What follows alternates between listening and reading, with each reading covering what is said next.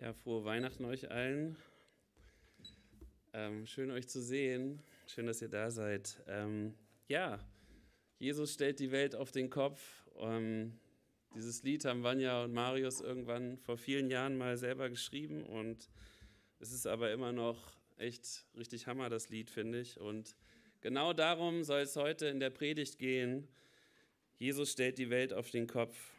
Das hat er wirklich getan. Und Vielleicht kennen manche von euch das auch, wenn ein Baby geboren wird, so. Vielleicht kennt ihr das als Eltern. Ihr kriegt ein Kind, ein Baby kommt auf die Welt, kommt in eine Familie rein. Vielleicht seid ihr auch große Geschwister und ihr habt das miterlebt, als, ähm, ja, als ein Baby geboren wurde und wart schon alt genug, euch das zu merken. Ähm, ich habe das auch erlebt, einmal als großer Bruder und einmal als Papa.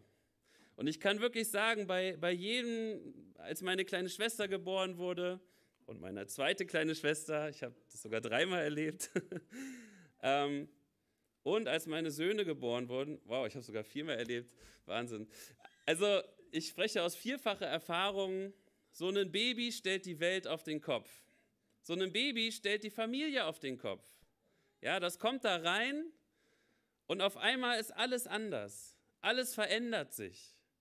Ja, dieses kleine, kleine Kind, was eigentlich noch gar nichts kann, das hat so eine Kraft und so eine Macht, dass auf einmal alles anfängt, sich um dieses Kind zu drehen. Auf einmal ordnen sich Dinge ganz neu. Ähm, die Familienmitglieder verhalten sich anders. Es gibt auf einmal andere Aufgaben, andere Dinge zu tun. Auf einmal sind Dinge, die vorher wichtig waren, nicht mehr wichtig und auf einmal sind ganz neue Dinge super wichtig geworden. So ein kleines Baby, das stellt die Familie auf den Kopf, wenn es in die Familie kommt. So ein kleines Baby, das verändert alles. Und ich habe das vorher gar nicht so geglaubt, bevor ich Papa geworden bin. Und ich habe da ja auch, ich und meine Frau haben lange darauf gewartet. Aber als es dann soweit war, konnten wir endlich verstehen, was andere Eltern meinten, wenn sie uns so ein bisschen davon erzählt haben, wie so ein Kind einfach wirklich dein ganzes Leben verändert, völlig. In einem Maße, wie du es vielleicht wirklich noch nie erlebt hast. Und genau so war das auch mit dem kleinen Jeshua, mit dem kleinen Jesus. Genauso war das auch. Er ist auf die Welt gekommen und schon seine Geburt, da hat Jörg ja gerade ein bisschen was von vorgelesen, schon als Jesus geboren wurde, war das ein bisschen anders als bei den meisten von uns. Und da sind auch ganz ungewöhnliche Sachen passiert. Da kamen weise Männer, die haben Geschenke gebracht. Da gab es diesen Stern irgendwie, der darauf hingewiesen hat, dass dieses Baby, dass dieser neue König geboren wurde. Aber dieses kleine Baby was wir heute feiern wollen, das hat nicht nur seine Familie auf den Kopf gestellt, sondern das hat die ganze Welt auf den Kopf gestellt. Das ist sozusagen das mächtigste Baby, was es gibt oder gab. Dieses Kind hat wie kein anderer Mensch die Welt auf den Kopf gestellt und verändert. Und ähm, ja, dieses Kind hat die Geschichte geprägt, wie wahrscheinlich niemand anders. Ich meine, vielleicht dachten damals schon der ein oder andere, ja, Gott hat doch irgendwann mal davon geredet, dass er die Welt retten will, dass er irgendwie einen Plan hat für die Menschen, für das Volk Israel, aber auch für die anderen Völker. Aber das scheint ja nicht zu kommen, er scheint es ja nicht zu tun. Vielleicht hat er den Plan aufgegeben, vielleicht ist es auch schon zu spät, vielleicht hat uns Gott vergessen, wer weiß. Wie will Gott jetzt noch das Ruder rumreißen, haben vielleicht manche gedacht, die vielleicht sehr schwarz gesehen haben zu der Zeit. Vielleicht Leute in Israel, manche Leute haben vielleicht gesagt, wie soll das jetzt noch gehen? Es ist doch alles schon viel zu spät. Und dann kommt Gottes genialer Plan und er fängt an mit einem Baby. Unerwarteterweise. Gottes krasser, mächtiger, großer Plan, die Welt zu retten und für immer zu verändern und zu einem anderen Ort zu machen, fängt mit einem Baby an. Mit einem kleinen Neugeborenen. Und in Jesus, und, und als das Baby größer wird und älter und erwachsen wird, dann fängt dieser Mensch, dieser Jesus auch an davon zu sprechen. davon, dass Gott die Welt verändern will. Er hat eine Vision davon, er hat eine Idee, wie das aussehen soll. Und er sagt, dass Gott das tun wird. Dieser Jesus sagt dann solche Dinge wie, dass er die Gefangenen, dass Gott die Gefangenen freimachen wird. Er sagt, dass Blinde sehen werden können, aber er sagt, dass Sehende blind sind. Das ist die auf den Kopf gestellte Welt, von der Jesus spricht. Er redet davon, dass Lahme wieder gehen werden können. In Jesus umgedrehter, auf den Kopf gestellter Welt, da gehört den Armen das Reich Gottes. Und den Sanftmütigen gehört das Land. Sie werden es erben. Und die Friedensstifter werden die wahren Kinder Gottes sein. Wisst ihr, normalerweise wäre es doch so, den Armen gehört gar nichts und denen wird auch nie was gehören. Den Sanftmütigen, die Sanftmütigen werden sich nie das Land erobern, weil sie viel zu sanftmütig sind. Wer nimmt sich denn das Land? Ja, die Starken, die die Ellbogen ausfahren, die die Macht und die Kraft dazu haben. Die nehmen sich die Länder und äh, nehmen das in Besitz. Und die Friedenstifter sind die wahren Kinder Gottes. Vielleicht würden damals manche gedacht haben, eigentlich sind die, die für Gott kämpfen, die wahren Kinder Gottes. Die, die bereit sind, für Gott zu sterben im Kampf gegen die Ungläubigen. Das sind doch die wahren Kinder Gottes. Und Jesus stellt das auf den Kopf und sagt, nein, die, die den Frieden stiften, das sind die wahren Kinder Gottes. In dieser verkehrten Welt, über die Jesus spricht, in dieser umgedrehten Welt, da werden die Letzten die Ersten sein. Und die Ersten werden die Letzten sein, genau umgekehrt. Und die Kleinsten werden die Größten sein und die Größten werden die Kleinsten sein. Das ist Jesus auf den Kopf gestellte Welt.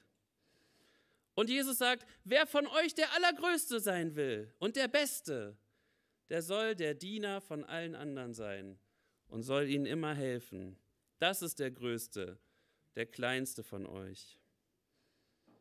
Das ist die umgedrehte Welt von Jesus.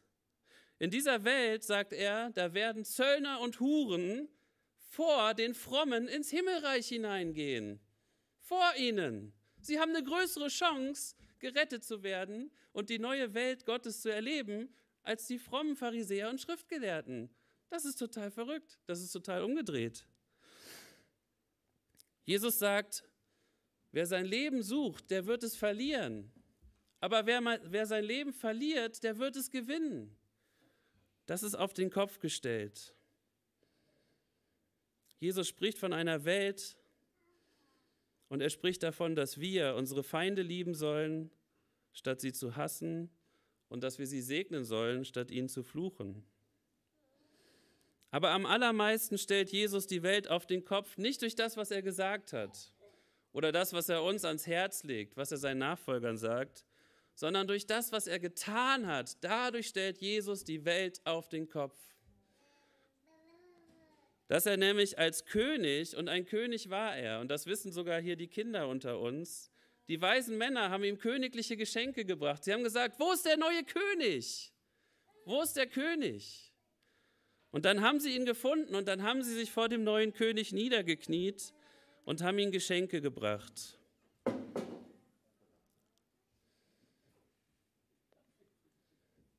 Fast.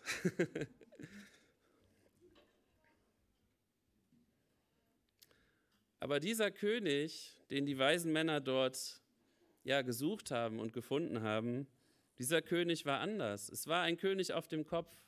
Es war kein normaler König. Es war ein König, der für seine Untertanen starb, statt seine Untertanen für ihn in den Tod zu schicken.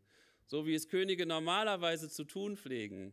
Ja, kämpft ihr mal für mich, ich bleibe weiterhin hier der König. Ihr macht das schon. Nein, dieser König hat selber gekämpft für seine Untertanen, anstatt seine Untertanen für sich kämpfen zu lassen. Und als dieser König gekrönt wurde, war es eine Krone aus Dornen. Und der Thron von diesem König, das war kein großer goldener Stuhl, auf dem er saß, sondern das war ein Kreuz, ein Holzkreuz, ein splittriges. Das war sein Thron, das war seine Krone. Jesus hat die Welt selber auf den Kopf gestellt. Er hat nicht nur davon geredet, er hat es selber vorgemacht und getan. Und er war selber alle anderen Diener. Obwohl er ein König war, war er ein Diener und hat wie ein Sklave die Füße seiner Jünger gewaschen. Dieses kleine Kind in der Krippe würde wirklich alles verändern und hat alles verändert. Und die Frage, die ich uns heute einfach stellen möchte, ist, lässt du dich von ihm auch verändern? Er hat die Welt verändert, er hat Menschen verändert, aber bist du einer davon? Öffnest du die Tür für Jesus? Lässt du zu, dass er dich auf den Kopf stellt? Dass er dich völlig auf den Kopf stellt? Es gibt eine Geschichte von einem mächtigen König im Buch Daniel. Die kennen manche bestimmt auch die Jüngeren von uns. Das Buch Daniel, ne, das ist das mit der Löwengrube und so weiter. Aber da hat dieser mächtige König in dem Buch einen Traum und in diesem Traum sieht er diese große, mächtige Statue aus verschiedenen Materialien. Und diese Statue steht einfach da und ist einfach so mächtig und wahnsinnig. Und dann kommt ein kleiner Stein, löst sich an so einem Berghang rollt den Berghang hinunter und zerdeppert der Statue die Füße. Und die Statue fällt um und zerbröselt und wird zu Staub. Und dann sagt Daniel, lieber König, das ist das Reich Gottes. Und das ist Jesus. Jesus, dieses kleine Baby, dieser kleine Stein, der einfach so losrollt und alles auf den Kopf stellt und alles umdreht und alles umwirft diese Macht hat Jesus, diese Kraft hat er. Immer noch. Hatte er damals, hat er heute immer noch. Darf Jesus dein Leben verändern? Darf Jesus mein Leben verändern? Darf er dich formen? Lassen wir das zu? Lasse ich ihn an mich ran, dass er mich verändert? Es kann sein, dass Jesus erstmal richtig viel zerdeppern muss in uns. Dass er uns wirklich erstmal die Füße weghauen muss. Und wir richtig, ja, auf den Boden fallen und unser Leben völlig in, in Scherben aufgeht. Um uns dann aufzubauen und auf neue Füße zu stellen. Das möchte Jesus nämlich. Darf Jesus dein Leben auf den Kopf stellen? Mit der Frage möchte ich euch heute Abend einfach, ja, ins, äh, in den Weihnachtstag schicken, in den Heiligen Abend schicken. Darf dieses kleine Baby mein Leben auf den Kopf stellen? Darf er mich verändern? Immer noch nach so vielen Jahren. Viele von uns sind schon so lange gläubig. Wir glauben so lange an Jesus. Wie sieht es aus mit seiner auf den Kopfstellkraft in deinem Leben, in meinem Leben? Lass ich ihn das noch machen? Oder ist jetzt alles so gesettelt und festgezurrt und so muss es jetzt bleiben für immer? Und da geht jetzt nichts mehr. Gerade mal so an die Älteren von uns die Frage. Und der auf dem Thron saß, sprach, siehe, ich mache alles neu. Und er spricht, schreibe, denn diese Worte sind wahrhaftig und gewiss. Gott will alles neu machen und wird auch alles neu machen. Also, wenn ein Baby geboren wird, dann ändert sich alles. Eigentlich immer. Aber man muss es auch zulassen. Es gibt auch Leute, da kommt ein Baby in die Familie und die leben einfach so weiter wie vorher, als ob nichts ist. Im Grunde wird dieses, neue, wird dieses Kind ignoriert. Es spielt gar keine Rolle. Die Eltern leben das Leben von vorher weiter. Und es ändert sich nichts. Und das ist schlimm. Wir müssen das auch zulassen, dass dieses kleine Baby in der Krippe, dass dieser kleine Jesus unser Leben verändert. Und deswegen lasst uns nicht so leben, als ob es Weihnachten nie gegeben hätte. Lasst uns heute Abend feiern, dass es Weihnachten gibt. Und mit Weihnachten meine ich, dass Gott auf die Erde gekommen ist in Jesus, um uns frei zu machen, um uns zu retten. Denn Gott hat seinen Plan nicht aufgegeben und Gottes Herz schlägt immer noch für uns. Und er rettet auch weiterhin und er wirkt auch weiterhin und er arbeitet. Also ich lade euch ein, lasst euer Leben auf den Kopf stellen von Jesus.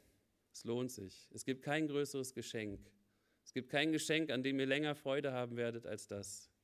Alles andere ist irgendwann langweilig. Aber wirklich, glaubt mir, Jesus wird euch begleiten, euer Leben lang. Ja, ich möchte noch kurz beten.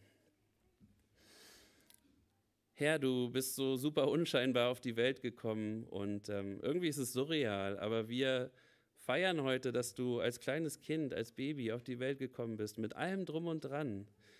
Und ähm, ja, wir, wir stehen vor der Krippe und staunen irgendwie, dass, dass das wirklich irgendwie dein Plan war. Und wir danken dir, dass du die Welt wirklich verändert hast und auf den Kopf gestellt hast, dass du alles, ja, alles umdrehst, wenn wir es zulassen. Und ich danke dir, Herr, dass die Kraft, mit der du das tust, dass es deine Liebe ist, dein Heiliger Geist und dass wir dir vertrauen dürfen. Und wir bitten dich, Herr, dass du uns heute Abend segnest, Herr. Und wir wollen, ja, unser Herz für dich aufmachen und sagen, ja, Jesus, komm rein, stell alles auf den Kopf. Ähm, wir freuen uns auf dieses neue Leben mit dir und freuen uns darauf, was du noch so alles vorhast mit uns. Amen.